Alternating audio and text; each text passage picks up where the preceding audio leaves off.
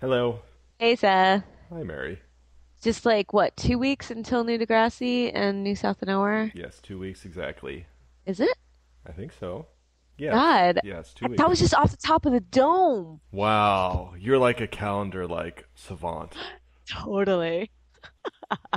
I'm stoked though. It'll a it'll give us something to talk about again. yes, exactly. It's always nice when when Degrassi has a new season.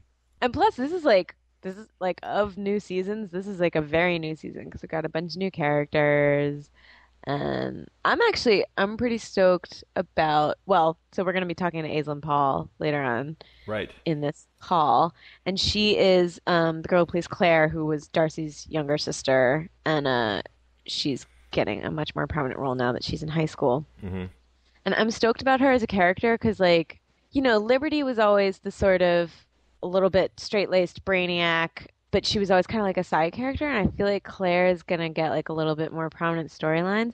And I'm in favor of the prominent brainiac on any given show. Yeah, I think so. I like seeing smart people on TV. I now I'm worried that she's going to be really irritating. Clare, I mean, not not not not Aislinn, uh, but Clare, I mean, Right. which is We'll know, see. I mean, I think like in the way that a lot of brainiacs have a little bit of arrogance going on, she might have that. But maybe Casey, the cute skater who's in advanced biology, will Wait, teach her not to judge Kissy, Casey. K- Casey, Oh my God, you just gave him a new nickname. Kissy the Kissy the cute skater.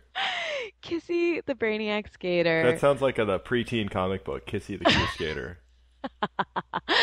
or like a cartoon.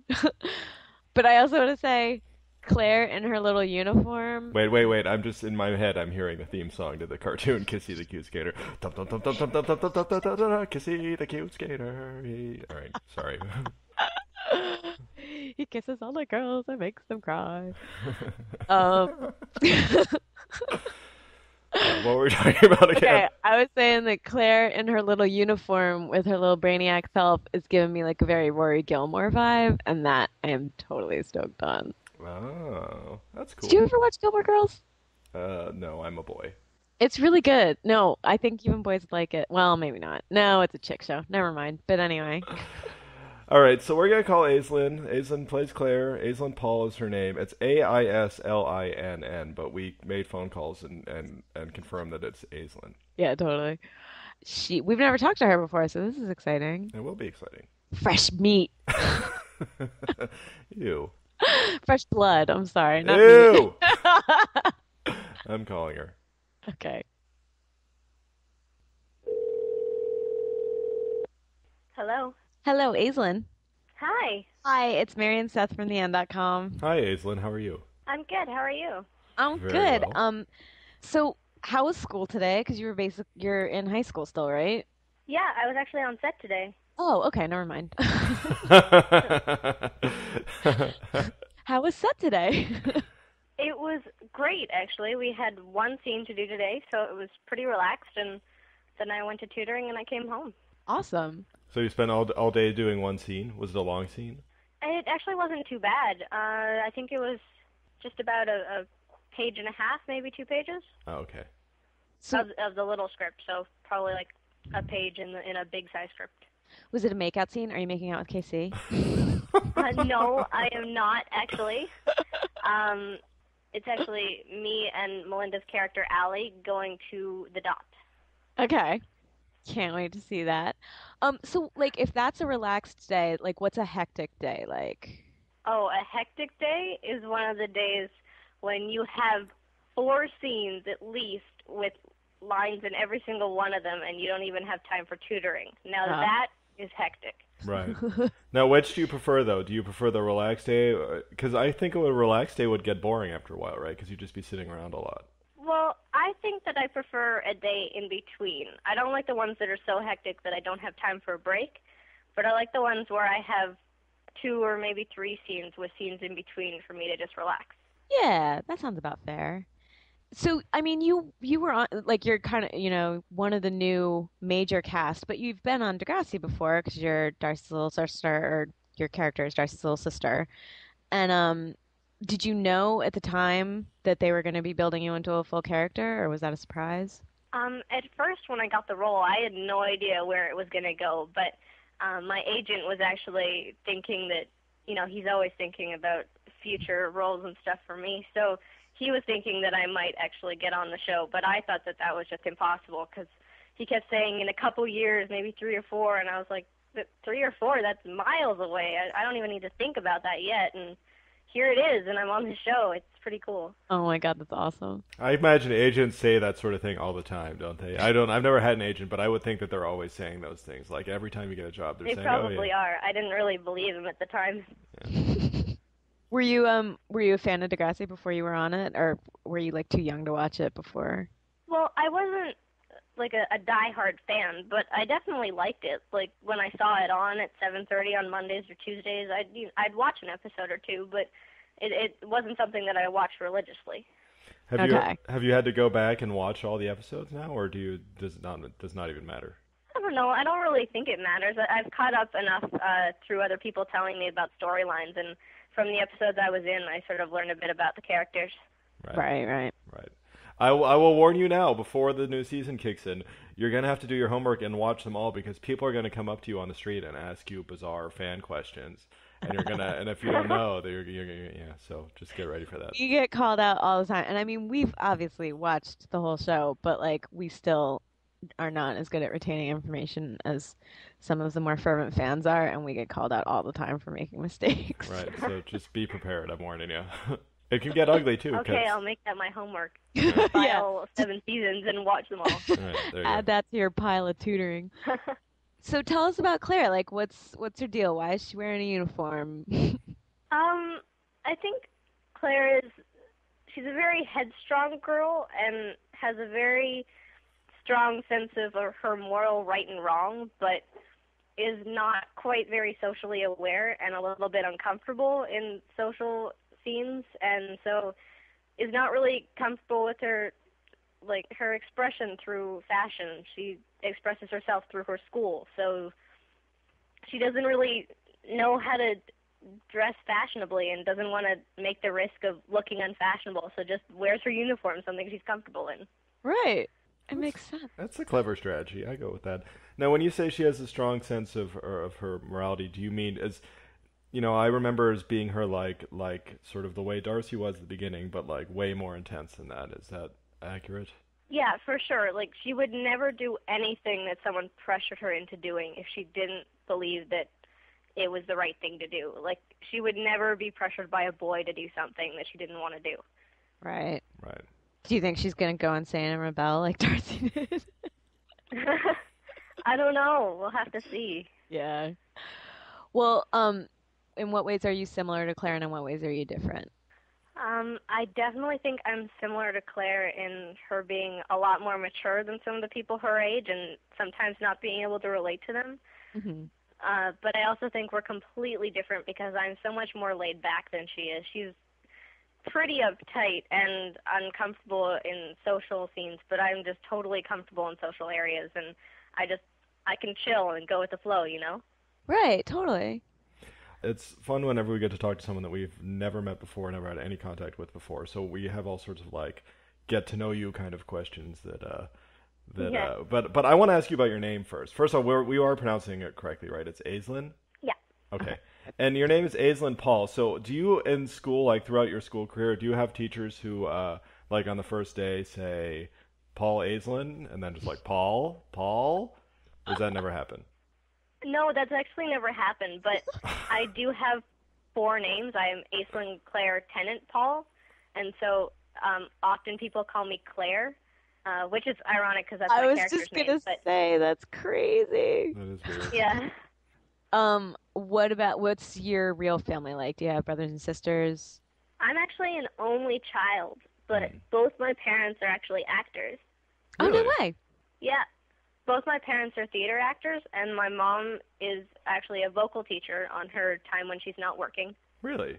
Yeah. So she trained you from a young age to project and breathe properly and all that. Oh, she doesn't force it on me, but you know, I I catch some things here and there.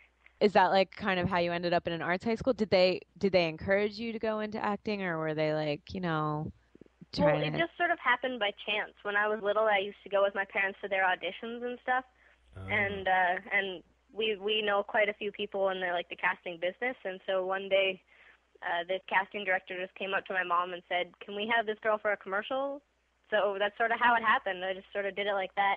And I did my first commercial when I was seven months old, and then my parents thought it'd be a good idea to let me have a bit of a normal childhood, and so I didn't act again until I was four. That was so you nice had of like three years solid of just like playing in the dirt and not caring. Yeah, but it it seems to have made a difference because I, um, I think that I I have a bit of a, a good thought of what a childhood is, and my parents have done a really good job of making sure that I have all, all the same things that every other kid has and gets to do the same fun stuff that kids get to do. So that's what happens. Uh, that's what happens when your parents are actors. You go to auditions with them, and suddenly you're, someone just comes along and says, "Hey, we uh, want to put this girl in a commercial." Because if I had done that with my parents, they would have come along and said, "Hey, can this kid sell fax machines?" And it just wouldn't have been the same. Um, so do, but when you watch the show, when your parents watch the show, do they do the thing that I would imagine most parents do, where it's just like, "Ee, my kid's on TV," or are they like, "Oh, you you didn't hit your mark there"? Oh no, they're they're sort of in between. They've they've uh they they try not to do the squealy thing, but um they they try not to criticize me as well. They they try to just be supportive, and if I don't want to do anything, then they're not going to force me to do it. But if I want to do it, then they'll support me a 100%. So they're really great parents, actually. They're they're really helpful in the business and stuff. That's awesome. I love to hear about great parents. it makes me happy. All right, so let's just like dig into like what your life is like normally and your interests outside of acting. Um, what is your favorite book?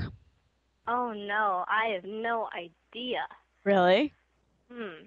Is that because you read too many or because you don't read many? I, I actually I read a lot. I, I am not a bookworm, but I read a lot.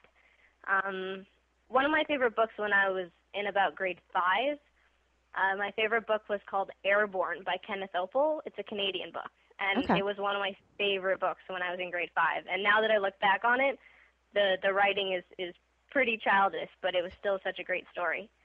Aw. Why was it your favorite?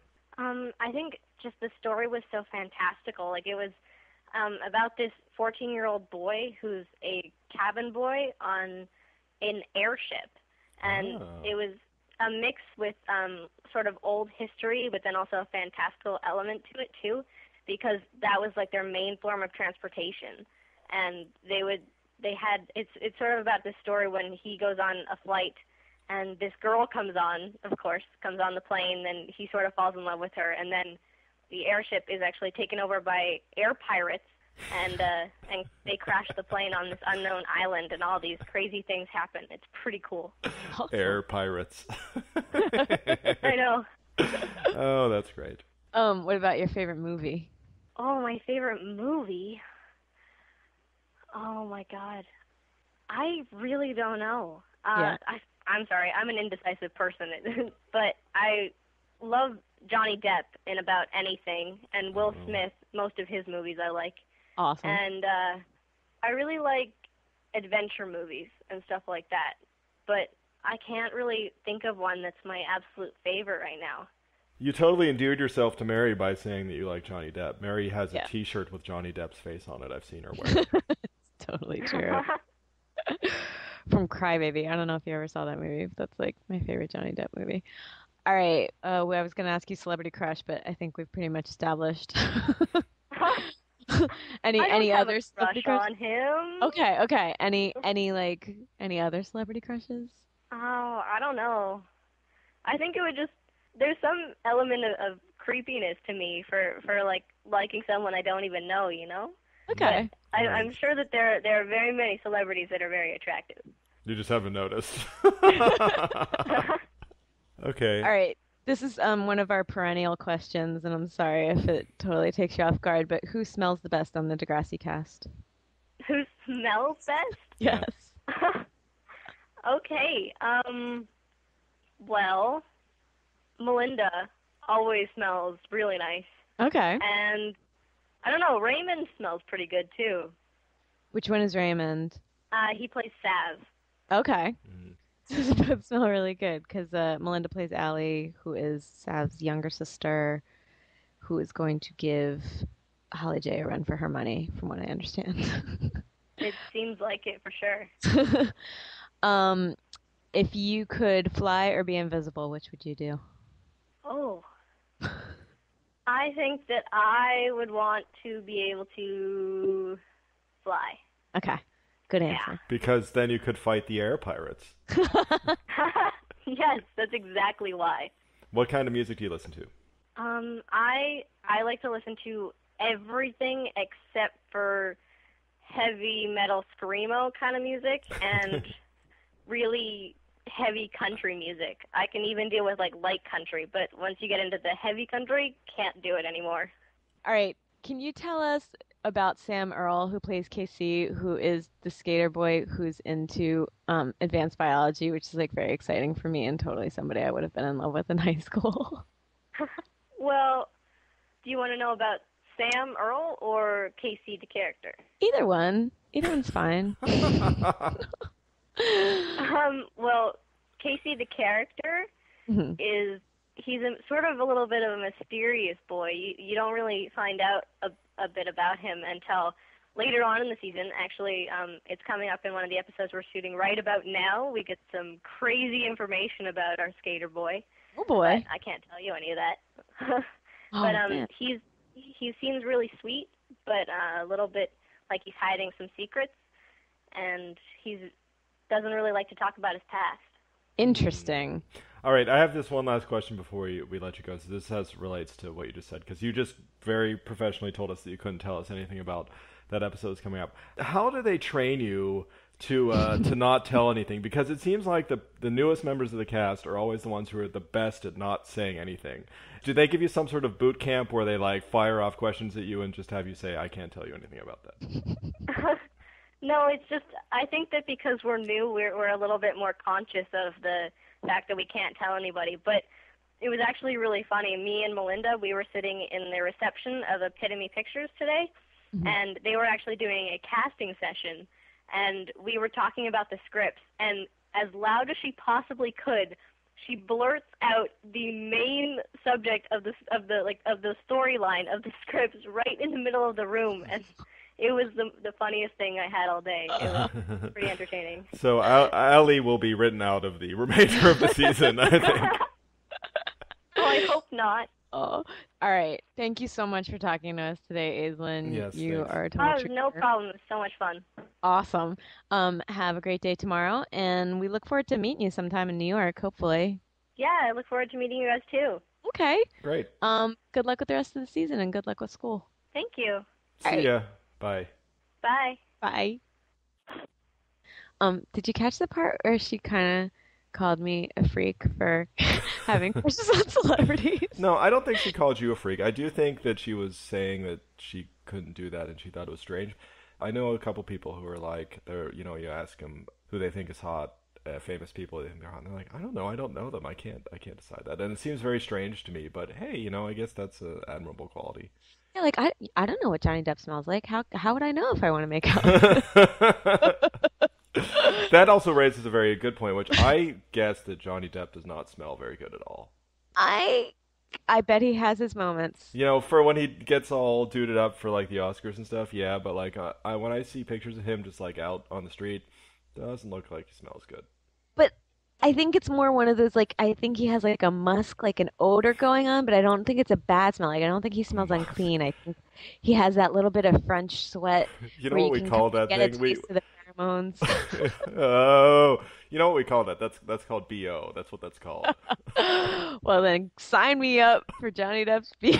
all right. How did how is it that I'm now talking about the intricacies of Johnny Depp's aromas? Because you're talking to me, baby.